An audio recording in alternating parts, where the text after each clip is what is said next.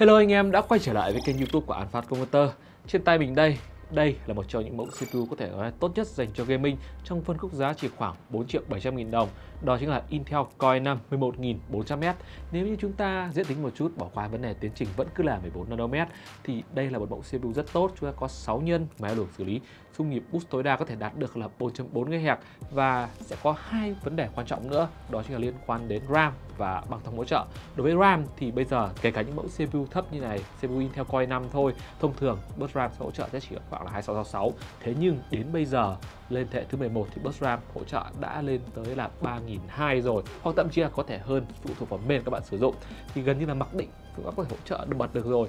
Với bus RAM cao thì các bạn sẽ có thể tận dụng được băng thông rất tốt từ vấn đề là CPU giao lệnh cho GPU sẽ tốt hơn thì qua đây FPS trong game cũng vẫn được cải thiện. Còn câu chuyện thứ hai đó chính là về PCIe thế hệ mới tức là PCIe 4.0 ở một số những cái bài test nước ngoài các bạn xem thấy là khi mà các bạn sử dụng card đồ họa các bạn kết hợp với một mẫu CPU này thì cái vấn đề là PC 3.0 4.0 thì cái hiệu năng thực sự là không chênh lệch nhau nhiều chênh lệch nhiều nhất nằm ở chính SSD và SSD được mình giới thiệu ngày hôm nay đó chính là bộ SSD tới từ Western D. Thì đây là bộ Western D Black. Black thuần dành cho game thủ. Và ở SSD này có dung lượng lên tới tận là 1 terabyte. Và cái tốc độ đọc uh, tuần tự có thể đạt tới đó chính là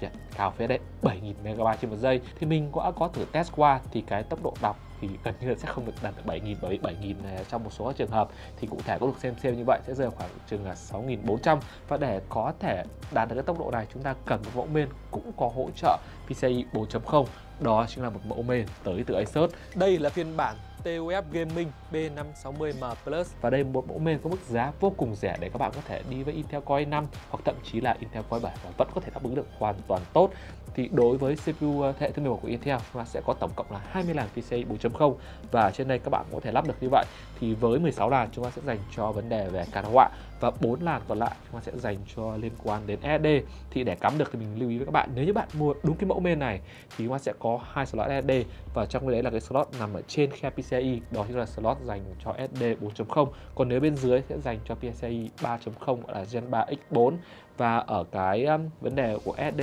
thế hệ thứ tư tức là Gen 4 đấy đó chính là vấn đề về phần nhiệt độ. Mẫu SD mình đang có ở đây sẽ không theo kèm heat sinh mà heat sẽ sử dụng ở đây sẽ là kèm ở ngay trên cái phần main thì đối với cái mẫu main này và cái phần heat sinh cũng có thể nói là tương đối tốt. Mẹ có test qua thì cái nhiệt độ tối đa mà mẫu SD này đạt được sẽ rơi khoảng chừng gần 60 độ C thôi với 60 độ C mà tốc độ đọc khi gọi là đọc cái tuần tự lên đến gọi là hơn 6.000 và gần 7.000 thì mình thấy rất tốt. Và mình cũng có thử test qua khi các bạn đọc ghi ngẫu nhiên, tức là khi các bạn copy file trực tiếp trên ổ SD này thì tốc độ cao nhất mẫu SD này có thể đạt được khi mình có một file lên tận là hơn 200 GB đó chính là một ghi rưỡi trên một giây, một ghi rưỡi trên một giây copy. Nếu như bạn nào mà copy những cái bộ phim thì nó còn nhanh nữa, còn những bạn nào mà copy ổ game thì nó sẽ hơi chậm vì đấy là những cái file nhỏ, file lớn nó ghép lẫn với nhau thì đấy là một chuyện hoàn toàn bình thường rồi, thì mình sẽ lướt nhanh qua một chút liên quan tới cái phần main đi. Thì đối với phần main thì mình đã nói ngay từ ở đầu video, đó chính là chúng ta có thể gọi là ép sung RAM trên chính dòng B, những thế hệ tiền nhiệm bắt buộc các bạn phải sử dụng dòng Z thì mới có thể ép sung RAM thế nhưng đến bây giờ, dòng B mình đã có thể ép zoom được rồi. Và để đảm bảo được túi tiền các bạn có thể là phù hợp nhất, thì các bạn nên mua những cái kit RAM có bus RAM hỗ trợ từ 3.000 đến 3.200 là phù hợp nhất đối với mẫu CPU của Intel. Và về phần card đồ họa sao? Card đồ họa thì một chút nữa mình sẽ test cho các bạn, thì mình sẽ sử dụng card đồ họa đó chính là RTX 3070 dĩ nhiên mẫu card đồ họa này cũng hỗ trợ PCIe 4.0 và nếu như bạn nào mà cần lời khuyên khi mà chọn mua, liệu là khi các bạn mua những mẫu card đồ họa khác cắm vào cái mẫu bên này thì có nhận hay không, thì mình cam đoan các bạn là có, chỉ cần là sử dụng cái ờ, gọi là kích thước X16 đây tức là 3.0 hay 4.0 thì đều hỗ trợ tương thích với nhau. Và phần RAM à, như mình đã nói còn CPU thì bạn chỉ cần cắm vào và nhận luôn. Còn đối mẫu CPU của Intel thì à, mặc dù đã có tản tặng kèm nhé nhưng mình khuyên các bạn vẫn nên mua một mẫu tản rời rơi khoảng chừng 6 đến 700 nghìn để sử dụng nó chưa là tốt nhất. Và bây giờ thì mình sẽ test nhanh qua một số tựa game để các bạn thấy được là khi kết hợp toàn bộ các linh kiện với nhau mà đều là linh kiện 4.0 thì hiệu quả sẽ ra sao.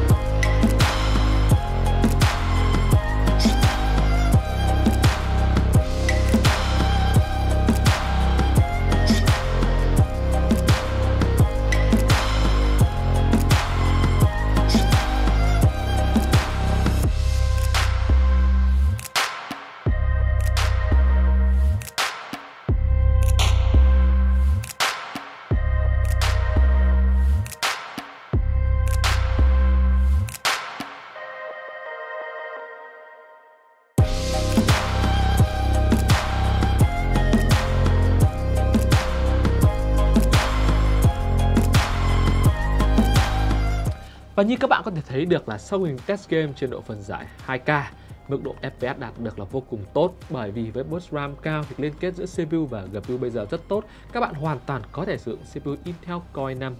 11400M kết hợp với cả loại là TUF Gaming RTX 3070 hoàn toàn ổn, không phải lo vấn đề nghẽn cổ chai. Vấn đề cổ chai RAM mà, giải quyết xong rồi. Vậy thì PCIe 4.0 liên quan tới vấn đề gaming sẽ cải thiện được khoảng bao nhiêu FPS thì theo như cảm quan đánh giá cá nhân của mình sẽ cải tiến từ 5 tới 10 FPS trên tùy từng tựa game. Nếu như là các tựa game nhẹ thì FPS sẽ cải tiến nhiều, còn đối với những tựa game nặng thì à, cái vấn đề đấy sẽ hơi khó để có thể giải thích được luôn. Thì cái tốc độ cải tiến lớn nhất dĩ nhiên vẫn cứ là ở SD SD tốc độ đọc ghi rất cao. Western Digital Black SN850 với dung lượng là 1 TB sẽ một sự lựa chọn rất tốt đối với những bạn nào game thủ cần phải cài nhiều app. Đường link của các sản phẩm mình sẽ để ngay dưới phần mô tả video để các bạn có thể click vào. Hẹn gặp lại các bạn trong những video tiếp theo.